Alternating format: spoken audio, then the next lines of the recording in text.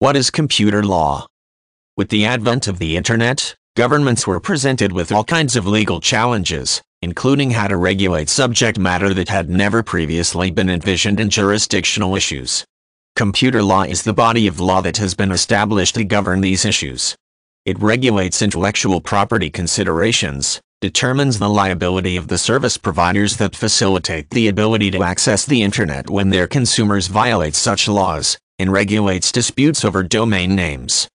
Intellectual property issues, most notably copyright, were among the first questions of computer law to rise, both on and off the Internet.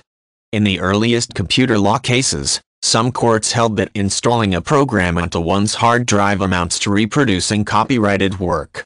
The same courts also held that the purchase of such a program grants the user an implied license to do so since such an act is required to utilize the program. However, installing an illegal copy of a program on a hard drive is, in fact, a copyright violation. In the early days of the Internet when copyright violations were completely unpoliced and uncontrolled, copyright holders began to sue the Internet service providers, ISPs, for the violations of people using their service. Such lawsuits asserted that ISPs were facilitating the copyright violations and thus should be held liable for the illegal actions of their clients.